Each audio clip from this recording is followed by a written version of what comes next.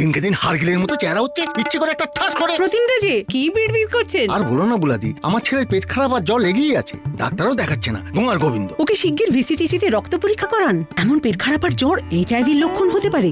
আপনাদেরও এরকম হলে যে কোনো হাসপাতালের ভিসিটিসিতে অবশ্যই রক্ত পরীক্ষা করাবেন। ওরে হারু